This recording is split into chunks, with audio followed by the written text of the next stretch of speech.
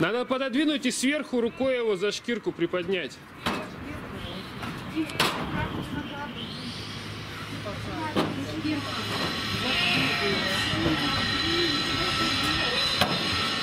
Thank you.